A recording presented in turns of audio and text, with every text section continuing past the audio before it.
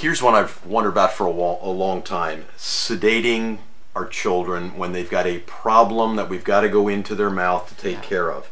How can you work with my child without sedating the child?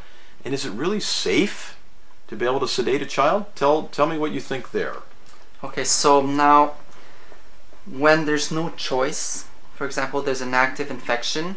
Um, No choice that you have to go in in an invasive Yes. process. Okay. because now there's there's a lot of bacteria inside your child's Right. body that needs to get out of there as soon as possible and there's no choice and, and your child is not cooperative because of anxiety or, uh, or maturity um, so then sedation is the only answer right um, is it safe yes absolutely however with every procedure there comes a, a little bit of risk so it's always better not to sedate.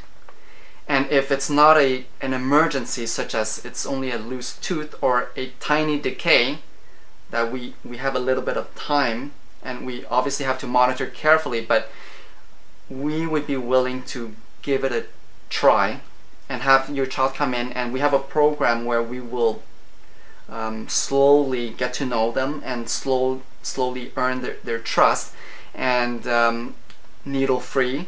We'll Needle try free. it, um, and and we'll we'll try to fix it early. And if that doesn't work, you know, we'll spend as long as an hour to to try, and then if they're not ready, we'll reschedule, and then then maybe in a few months they're more mature. They come back, and then we give it another try, and sometimes it works, and then we avoid sedation altogether. Now, is sedation merely slowing them down and taking anxiety away, or is it numbing everything? What What are we talking about when we talk sedation? Okay, there's many levels of sedation.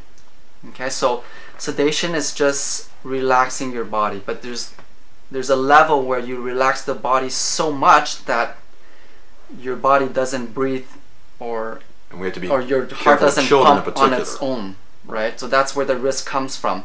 Uh, and there is nitrous oxide, which is a a less um, like a, a more shallow level of sedation where it's Okay. more safe Yes. and they're fully awake but they're more relaxed and then we can still get the work done Okay. right and uh, there's the deeper level where we need to have monitors to make sure the heart is, is pumping and they're breathing and they're getting that oxygen so that we don't um, end up hurting them Exactly. Right.